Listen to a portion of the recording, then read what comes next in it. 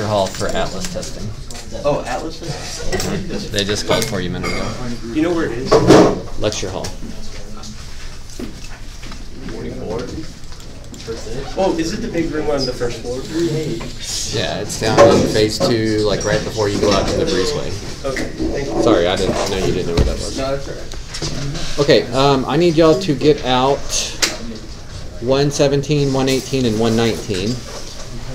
Those are all things that we started on last class. 117, we started uh, the synthetic long division, and some of you may have finished that up, but if you didn't finish that up, I need you to do that today. We went over all of 118 together. No more one time. Okay, I'll get it. Uh, well, 119 is the book assignment. Oh, okay. That's why it won't be in there. All right, 118 was a set of notes that we went over, but you probably want to have it out as a reference. And then 119, we started the book assignment last class, uh, but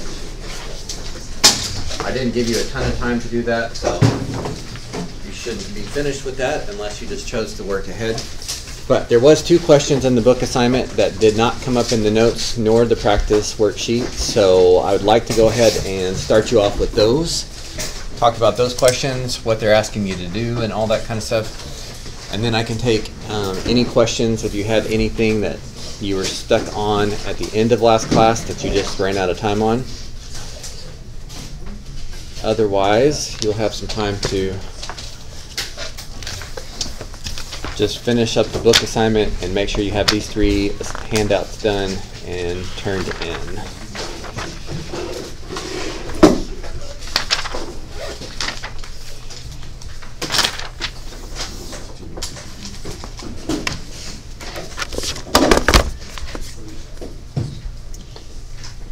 Okay, so question 15. Again, this did not come up in the notes. So a few of you asked me about this last class, but I said just hold off. We'd have time to talk about it today. So let's go ahead and talk about these. So let me go ahead and, and walk you through 15, uh, how to get the answer and why it is helpful mathematically. And then I'll let you try it real quick on 16 and we'll check it before we go on.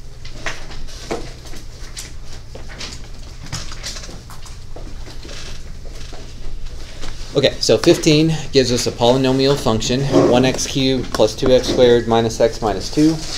And it wants us to apply the, what they're calling the rational zero test, which a lot of times students are not familiar with that name. But you might be familiar with it when I call it the P over Q list, because that's kind of how you work it out. Does anyone remember anything about P over Q from Algebra 2? I think they probably showed it to you and didn't test you on it. Okay, so it's called P or people refer to it as P over Q because the test tells us to take plus or minus all the factors of P and divide it by plus or minus all the factors of Q. That's how our that's where our answer is going to come from. Now, of course, you should be asking yourself, what is P and Q? So P is the constant, and Q is the leading coefficient. So the number that's being multiplied by x with the biggest exponent. So for question 15, just to get their answer, I just need to do plus or minus the factors of this. So plus or minus everything that divides into 2 evenly, which is just 1 and 2 and divide that by plus or minus all the factors of q. and q is 1. So the stuff that divides evenly into 1 would be 1, so plus or minus that. And this is all that they're asking for. Now, this is a compact way to say this, and I guess I should have started off by saying this, but I am pretty sure they still showed this on the AC, or asked about this on the ACT, and you can see it took me about two seconds of work. What this this is a compact way to say the same thing. Uh, any of these four things over any of these two things. So like positive one over positive one, negative one over positive one. Some of those are repeats. Two over one, negative 2 over 1, everything else is a repeat. So this is a compact way to say those four things. Now, what this is doing, the reason why in mathematics we like to know and be able to apply this thing called the rational zero test is this tells us the, this is important word, possible rational zeros. So if it has imaginary zeros, this test isn't going to help us determine anything with i's in it. But it lists out everything that is possible to be a zero as far as rational numbers are concerned. So the fact that 3 is not in this list means that there's no chance 3 is a zero, which means there's no chance that 3 is an x-intercept. 5's not in this list, so there's zero chance that this has an x-intercept of 5. Now again, they put the graph there so that you can confirm that. Now, really, this is just the third degree, so that doesn't mean that all of these are zeros. These are the zeros that are possible. So notice 1 is actually a zero. We can see that in their graph. And 1 is in the list. Negative 1 is a zero, and it was in the list. And negative 2 is in the list, and negative 2 is a zero. So 2 ended up not being a 0, but that's not the point of the rational zero test. The rational zero test is to list out the ones that are possible. Again, if you know what the graph looks like, it doesn't have much meaning behind it, but a lot of times you guys don't know what the graph looks like. So again, if they did graph this for me, just by doing plus or minus the factor of these over plus or minus the factor of these, these are the only possible x-intercepts it has. 1, negative 1, 2, or negative 2. Anything not in that list has zero chance of being an x-intercept. Um, unless it's irrational, like the square root of 2, square root of 3, or imaginary. If it has i's in it, this test doesn't do that. Okay, so you try to apply that for question 16 before I tell you. So 1x cubed minus 4x squared minus 4x plus 16.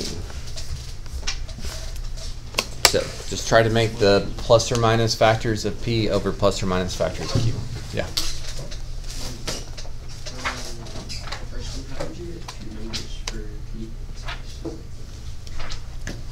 It's not two numbers for p, it's the factors of p.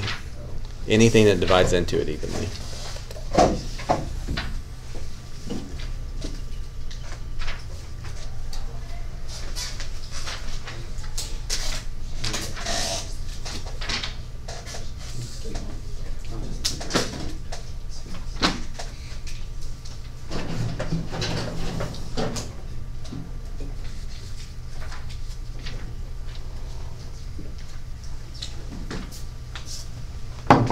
Okay, and I'm cutting you off here because honestly that's about time to work this question five times.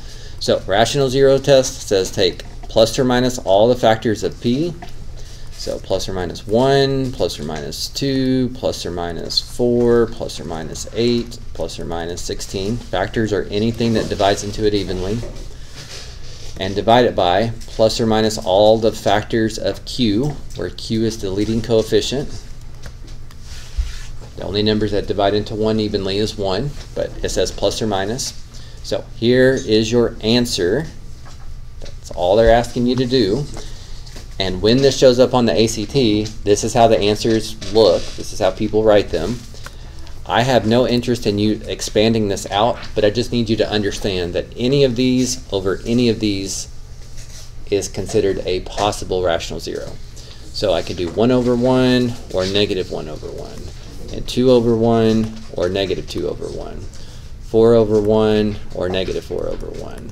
Or 8 over 1 or negative 8 over 1. Or 16 over 1 or negative 16 over 1. This is just a compact way to say all of that. So, once again, as far as our class is concerned, this is all you need it for. Um, for the ACT, that's all you need to know.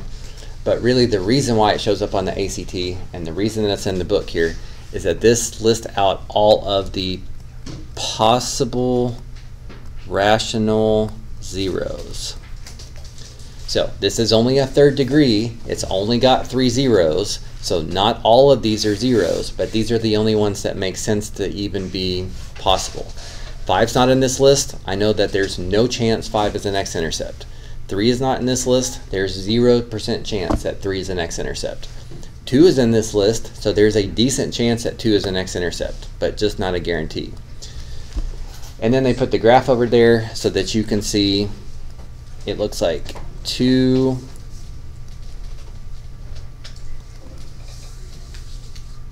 they put the graph over here so that you can see that the ones in this list are actually zeros.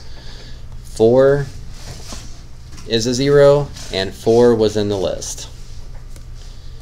2 is a 0 and 2 was in the list. Negative 2 is a 0 and negative 2 was in the list. So it's a quick five seconds worth of work way to know which zeros are even possible.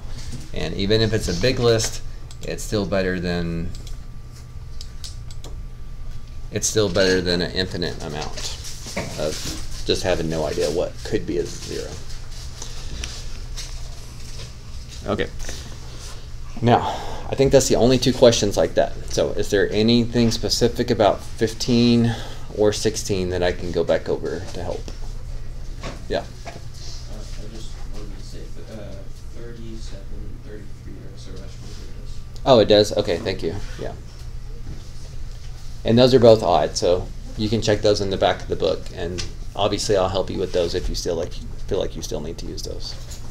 But again, not a hard thing, but um, honestly, your Algebra 2 teachers were probably not trying to make you dive into this too much. So what I used to make my Algebra 2 classes do, because I taught Honors Algebra 2 for four or five years, is I would, at the end of a polynomial unit, is I would want my students to figure out what this graph looks like with no calculator. And so this is helpful because it gives you a list of things that might be x-intercepts. And what you can do is you can try to synthetically divide one of them out. And if it divides into it evenly, then you just found a zero and you just found a factor. And if you only need to find three of them, um, you can get all the x-intercepts that way. And then one wouldn't be because it wouldn't divide into it evenly, but then you might try negative one and it may not divide into it evenly. But then you might try two and it does divide into it evenly. And then you get this third degree down to a second degree, and then you can just use factoring or quadratic formula. But without this list, you just have no idea what to guess. You're just completely guessing what to try, which could you could spend your whole life on one question that way. This at least gave people some reasonable guesses to try. So again, they were um, probably being nice to you to make you not have to go through that much in polynomials, but that's probably also why you don't remember this P over Q list, just because you didn't have context behind it.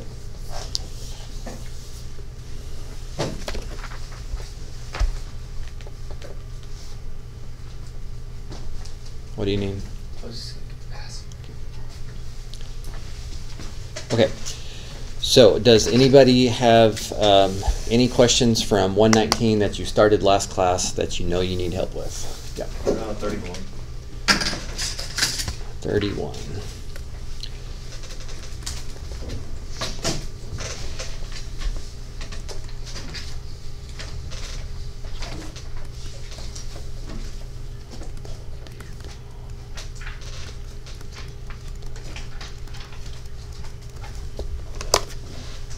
Let's see.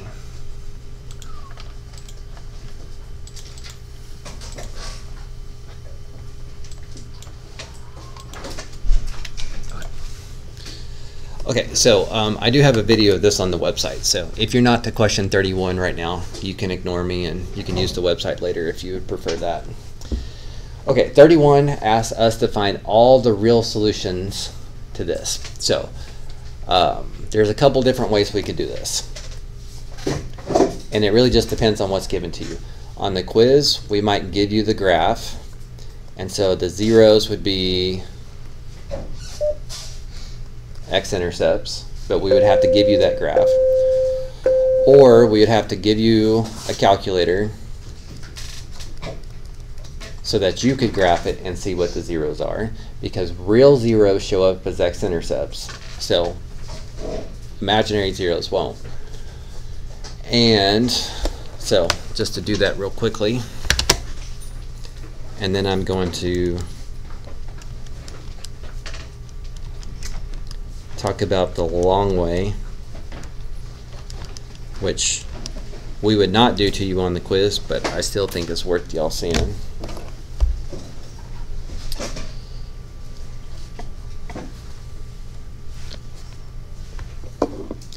Okay, so I'm looking at my graph on the calculator, and some of these look nice, like uh, 1, x equals 1 is obviously an x-intercept. There's one near a half, but it's not 1. There is one at negative 3. And then there's one at about negative 4.5, but it's not actually a 0.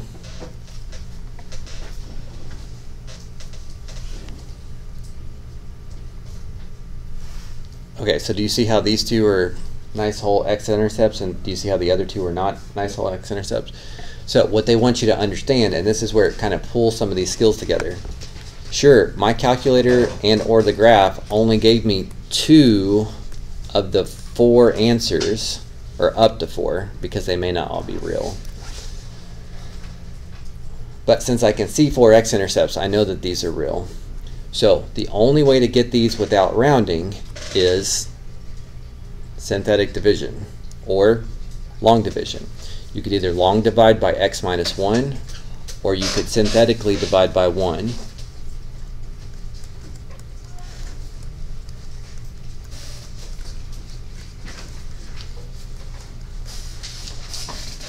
Now, because I know that's a 0,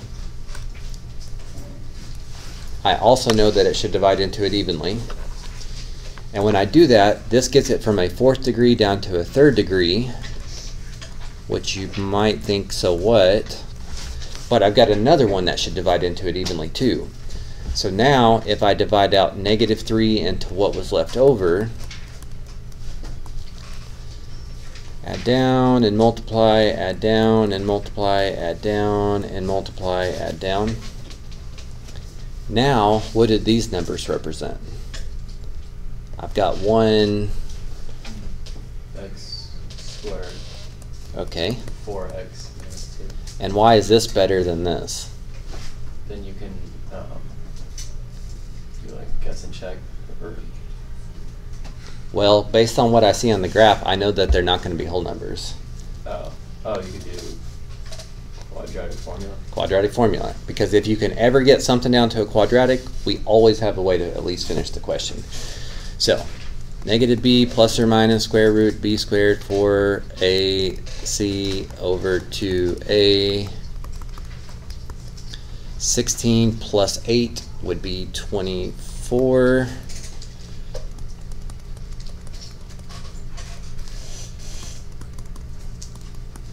which is 2 square roots of 6. And then these reduce, bless you. So negative 2 plus the square root of 6 and negative 2 minus the square root of 6. Nothing that you were ever going to guess in your head. But again, if you can get a couple of them, either we tell you a couple, or we give you a graph where you could see a couple, or we give you a calculator where you graph it and get a couple. Dividing one of those out gets it from a fourth degree to a third degree. Dividing the other one out gets it from a third degree down to quadratic. And at least with quadratics, we know we can always finish it with quadratic formula if we have to. So do you have to use negative three for the second one like the second synthetic division. Mm, you could do those in either order. You could do negative three first and then one if you wanted to. But you couldn't use the same one. So Mhm. It wouldn't do anything. right? No. Sometimes you could. Um, like.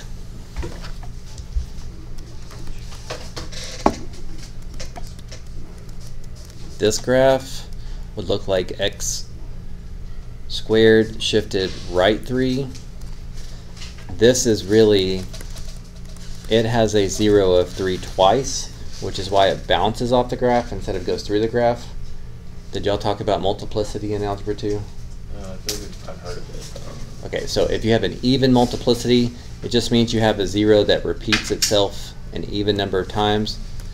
It will touch the x-axis and bounce off of it. So in this case, you could synthetically divide by three, it would divide into it evenly, and then you could synthetically divide by three a second time and it would still divide into it evenly. But on this one, it didn't bounce off the x-axis, so I knew neither one of those was going to go in more than once. But if you're not sure, you could always divide by one, it goes into it evenly.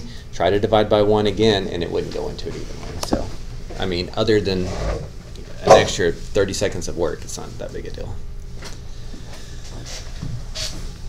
But I guess probably the most important part of, of all of this was y'all need to understand how we could phrase this question. We could either give you a calculator so you could graph it and find these first two. We could give you the graph to look at so that you could look at the graph and see these first two. Um, or we could just put in the directions that one is a zero and negative three is a zero. But we basically have to give you enough information to find these so that you can divide them out and get it down to a quadratic. So, just several different ways we could go about that. Okay, was there any others that you got stuck on before y'all left on Tuesday or Friday? Friday. Sure.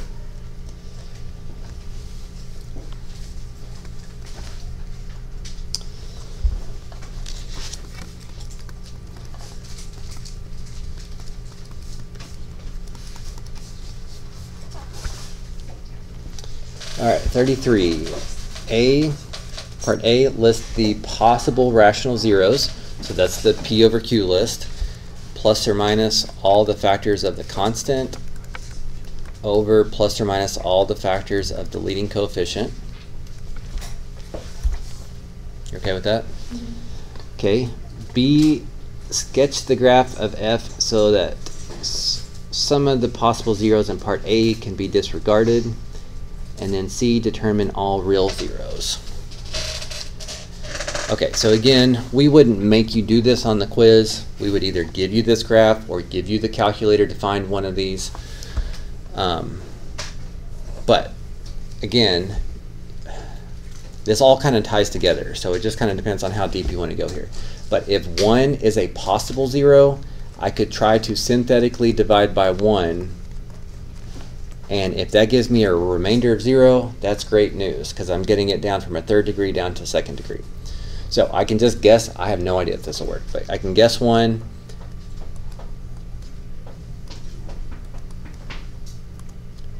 Okay. Unfortunately, one doesn't divide into it evenly, so I know one's not a zero. Now, there is this thing called synthetic substitution, which you guys should might as well learn since we're here.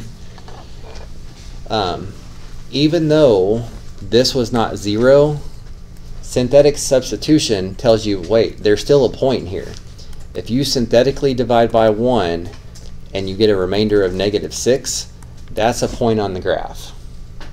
So since they're going to ask me to graph this in a second, even though that's not one, it wasn't the best guess, it's still useful information.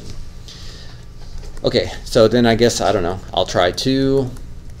I'm just showing you worst case if you had no calculator. If you had a calculator, you could look at the x-intercepts to see which one will divide into it evenly. Yeah. Can't you factor by grouping? Uh, you could factor by grouping. That would actually be pretty smart.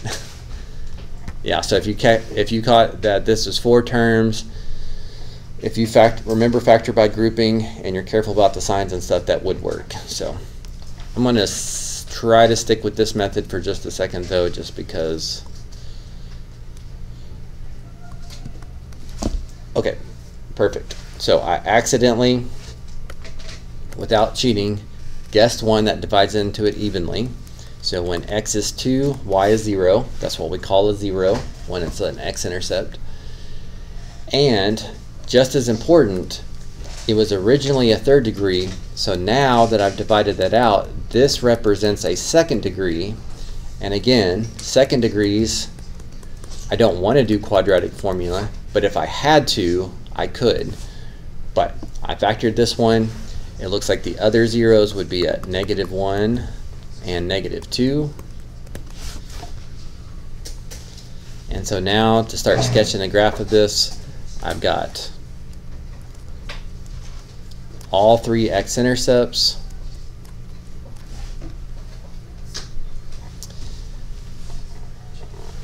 And then just based on the shape of the graph, it would have to go up, back down through here, and then it would have to come back up to finish the graph. Um, and I could even be a little more specific, even though this was not what I was hoping for when I guessed this. I do know it goes through 1, negative 6, so I have a little bit more accuracy in this little dip there. So that's a pretty good graph considering I didn't use a calculator at all, and all I had to know was the rational zero test and synthetic division. Rational zero test told me what things were bothered or worth even guessing. I guessed, didn't help. I guessed, it did help. Brought it down to a quadratic. Quadratic solved the other two. And so then there's the graph. Okay, uh, determine all the real zeros. Okay, well, we basically did already. Two that I just guessed from, I just guessed and checked with synthetic division. And then once I got it down to a quadratic, I just factored the last two. So that would be part C. Now again, we won't expect you to do that much by hand on our quiz. We will either give you the graph so that you should see 2, negative 1, and negative 2, um, or we'd give you a calculator so you could graph it, but or in the directions we would just give you one of those so that you had something to start with to find the other two. So, but this is even without a calculator, still not that bad.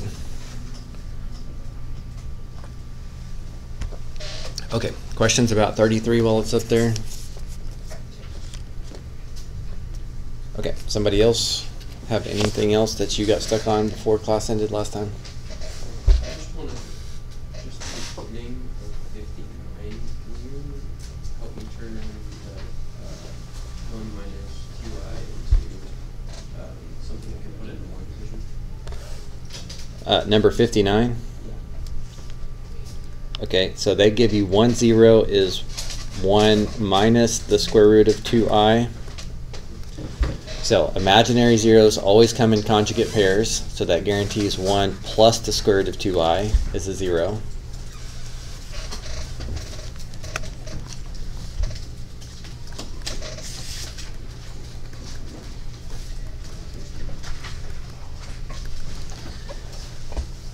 Okay, you definitely don't want to divide these out because these are so messy that it's going to be a nightmare. But to change these to a factor, just do x minus all of this. And when I say minus all of this, you need to distribute it. Minus the 1 and minus the negative, or the minus square root of 2i. Same thing over here. x minus the 0 and distribute changes it to a factor.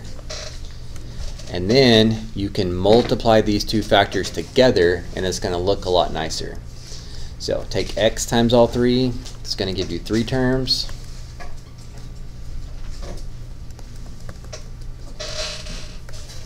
Then negative 1 times all three gives you three more terms.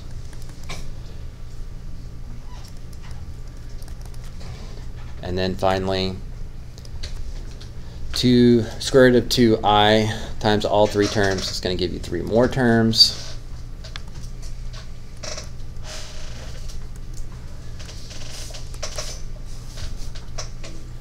Okay, and square root of 2 times square root of 2 would be square root of 4, which just reduces to 2.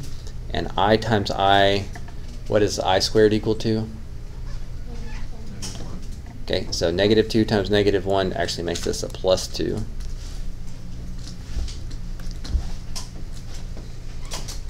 Thank you. Said it in there. Thank you. Okay, so 3 terms times 3 terms gives us 9 terms. So we saw this last class. It's pretty intimidating, but most of this is going to go away. Plus 2i minus 2i adds 0 plus xi squared of 2 minus xi squared of 2 adds to 0.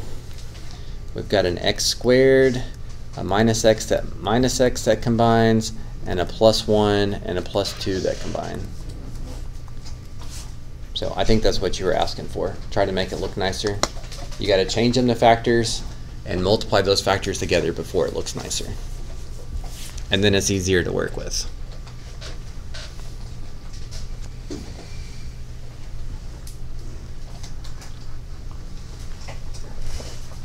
So I think you were going to finish the question on your own there, but if you long divide that out, it's going to expose the hidden quadratic, and then that's where your other two zeros will come from. Okay, but we can come back and I'll save a little bit of space in case we need to come back and finish that. Okay, does anybody else have one from last class that you got stuck on before you left?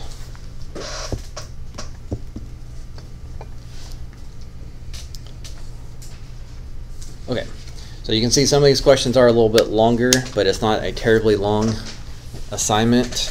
And again, if you didn't finish up the synthetic last class, that's fine too, but that should be part of your to-do list today. And we still have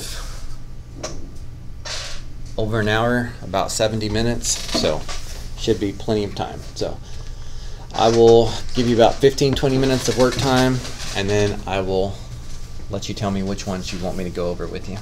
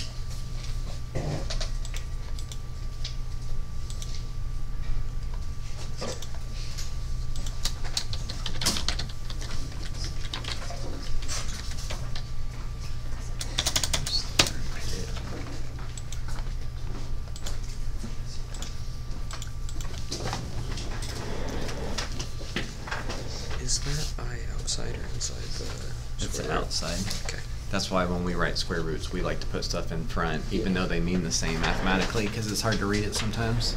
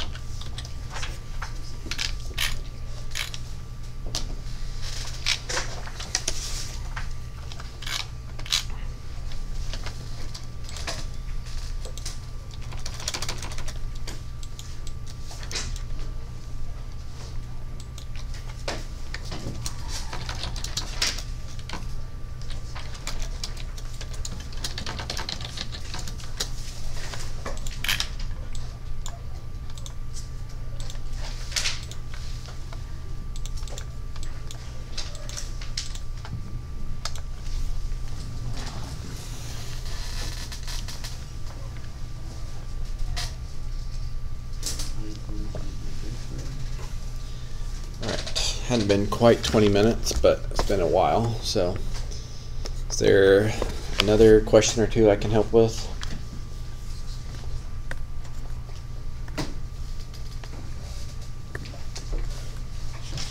You do thirty-seven. 37? Okay.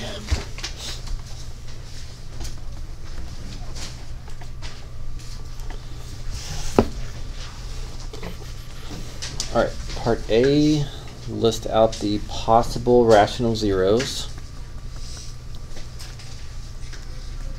So that's what we talked about at the start of class.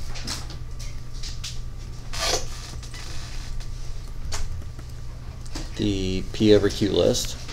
So you need to do plus or minus all the factors of P, which is the constant. So plus or minus 1, 2, 4, and 8. Anything that divides evenly into 8 over plus or minus all the factors of Q. Johnny, what are you working on? trying to watch the video. Okay. All right, so there's part A. This is the list of the possible rational zeros. Now again, that's not a tiny list. It's got 16 things there, but it's still infinitely better than having no idea what the zeros could be. So again, three is not in this list. I know there's no chance three is an x-intercept. Four is in this list. There's a good chance that four is an x-intercept. So that's where that list is supposed to be helpful. Okay, are you okay with that part? Okay, part B says to use a graphing utility.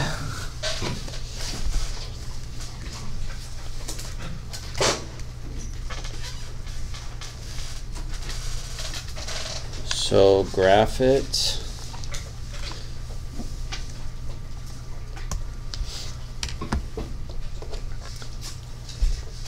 And determine some of the possible zeros from part A. And then determine all of the real zeros. Okay, so I'm looking at my graph and I see four x-intercepts. So this guy has four real zeros. Remember, real zeros always show up as x-intercepts. Imaginary zeros don't. Uh, some of these look like they go through nice whole numbers. I think it's going through 4, so I'm going to hit trace 4, enter, and it does go through 4, 0, so that's 1. It looks like it goes through 2, so hit trace 2, enter to jump to that point, and it goes through 2 evenly. Also looks like it goes through 1. So if you hit trace 1 enter, it jumps to that point and it goes through 1 0. And there's one more that's somewhere between negative or between 0 and between uh, negative 1. So again, it could be, you might think, well, maybe it's negative 1 third. That's between 0 and negative 1. But that's kind of the point of this list. Negative 1 third is not in this list. There's no way that that's negative 1 third. If it's not in the list, there's no chance that it's happening. Negative 1 half is in this list. So trace negative 1 half, enter, and then that is the other one. And again, it's a fourth degree, so I know it has four zeros. It turns out all of them are real zeros in this question. And notice all of these numbers were in this list. 4 is there, 2 is there, 1 is there, negative 1 half is there. It doesn't mean all of these are zeros, but all of the rational zeros have to be in that list. You just looked on the graph on the calculator to find those and. Yep, that's what it said. Just use graphing utility. Yeah. So again, we could phrase the same type of question in a ton of ways. Either A, we could provide the graph and not give you a calculator. B, we could give you the calculator and you could graph it and have to pull that information from the x-axis. Or C, we could give you two of these in the directions. You could divide out one of them to get to a third degree, divide out a second one to get it to a quadratic, and then you could factor a quadratic formula to find the last two. So it just kind of depends on what information and tools you have. All right, anything else about 37? Okay. Um, We got maybe one or two more ready to go for now.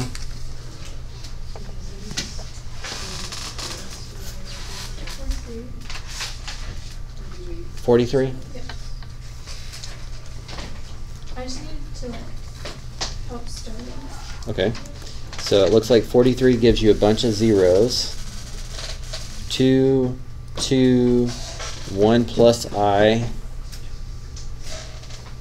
So is that gonna be it for the zeros? Yeah. There's, Oh no. Wait, I'm confused. What's your question? is there any other zeros besides the three that they gave us? I don't think so. There is. Is it one minus I? Right. So you have, it's understood that imaginary zeros come in conjugate pairs, so you have to know this one. We don't need to give you both of those if we give you one of them. Okay.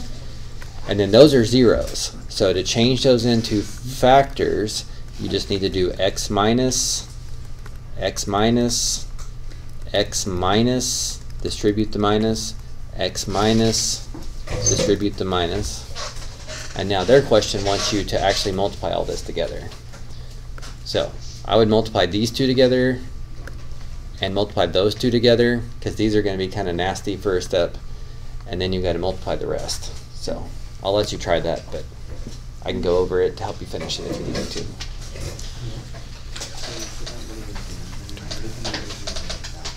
Okay, we still got a little over 45 minutes, so I'm going to set another timer and try to help out with a few more once that's up. What if I took the rest of my test now? No, that's not an option. You got other stuff to do. No.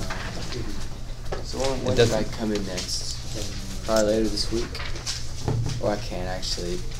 I can't do anything later this week. I've Then up for it. Tuesday of next week.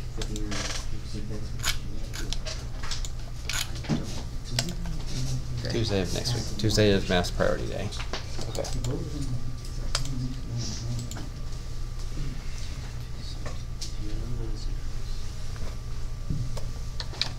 So which zeros is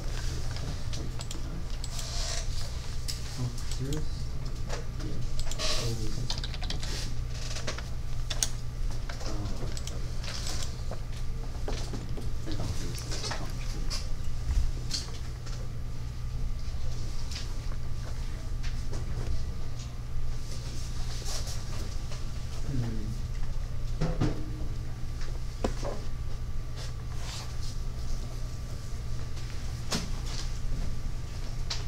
I was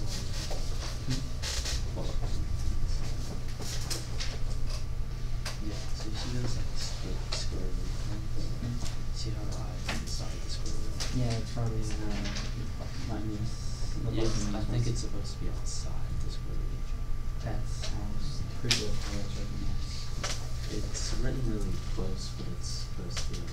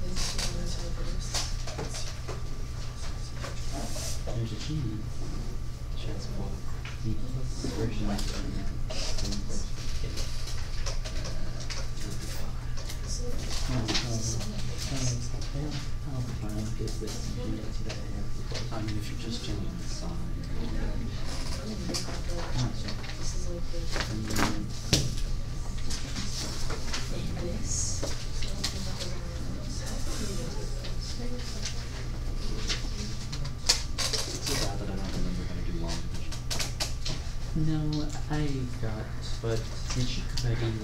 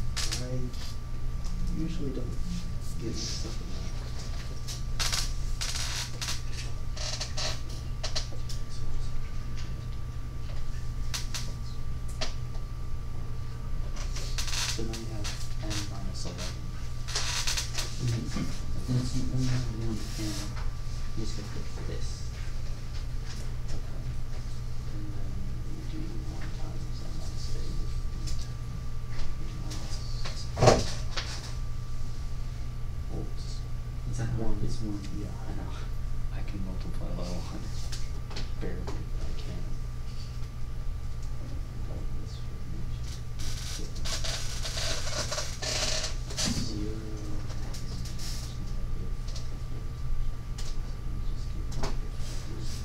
Mm-hmm.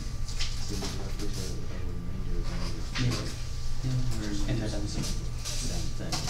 Yeah. One plus one minus one minus one. It's same as all those are synthetic. Right. Sort of. Yeah, sort of. You focusing on getting rid of like the. The biggest thing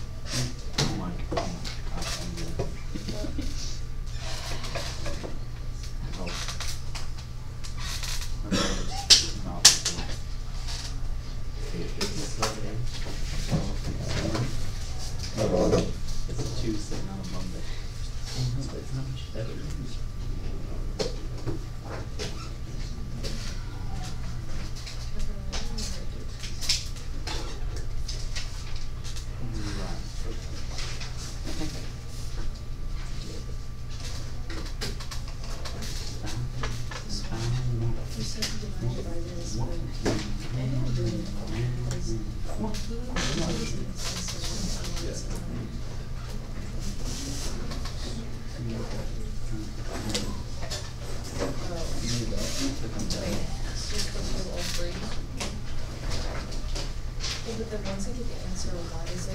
To do a video presentation in Spanish. Oh yeah, I did not do that.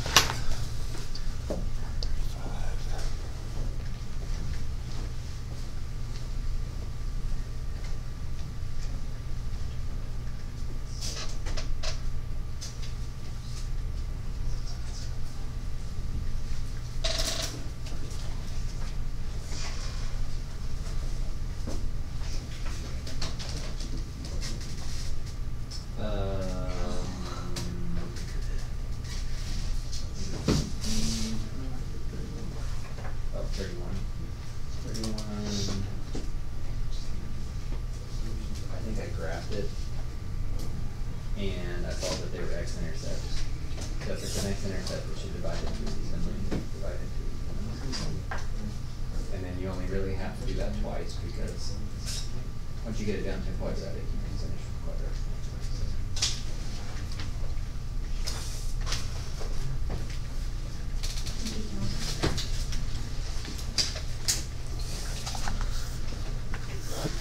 All right, it's already been another 20 minutes, and we're down to about 25 minutes of class. So I guess I can do one more short timer, but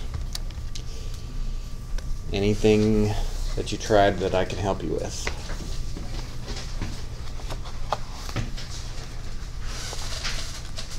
Can you do a number forty-one? 41. Okay. So 41 wants us to come up with the function that would have zeros of 1 and 5i. Okay, is that going to be it? Um, isn't there one more? There is one more. Good. This is like 0 plus 5i, so the conjugate would be 0 minus 5i.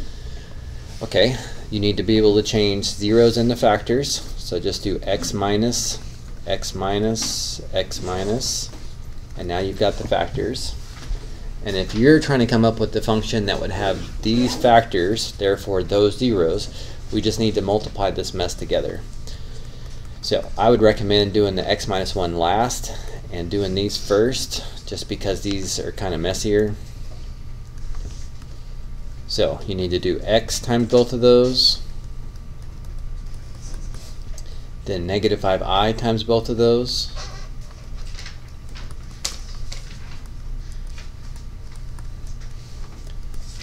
Make sure you remember i squared is negative 1. So these really add to 0. And minus 25i squared is really like negative 25 times negative 1 or plus 25. And again, you don't have to multiply these two together first. But if you don't, you're going to have i's all over the place until the very, very, very end. That's going to be a lot harder. Just multiply those two together and then the i stuff gets combined in here. Okay, then multiply these two together. So x times both and negative 1 times both. And probably should put it in descending order. So I've got this many x cubes, this many x squareds, this many x's, and this as a constant.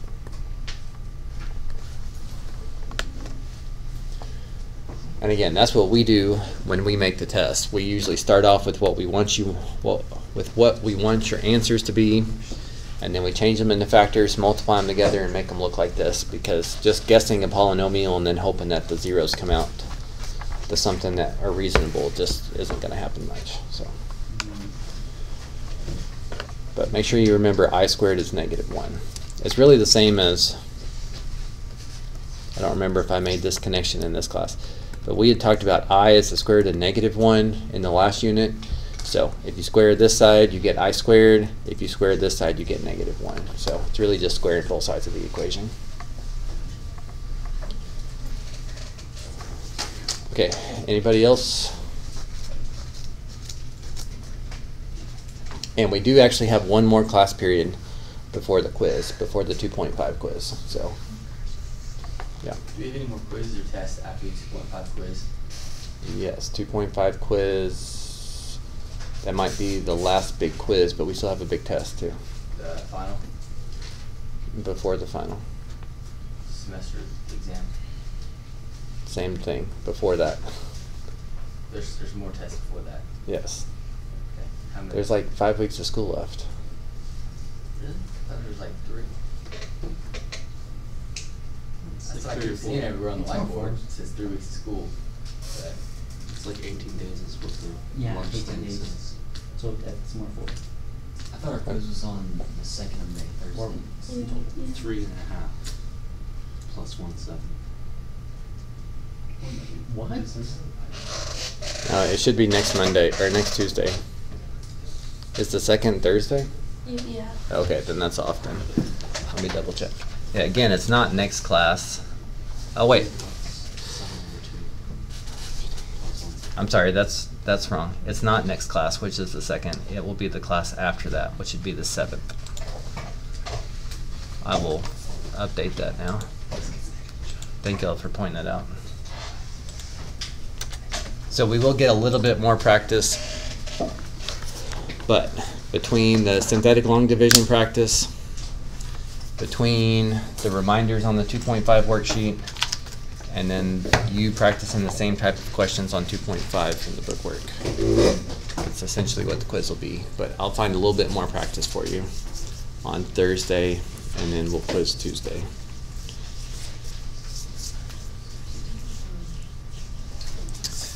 All right, I'm gonna go ahead and turn the screen off, but again, you guys still have 20 minutes, so if you're not finished with those, and if you've not turned those into Google Classroom, please do that before you quit for today.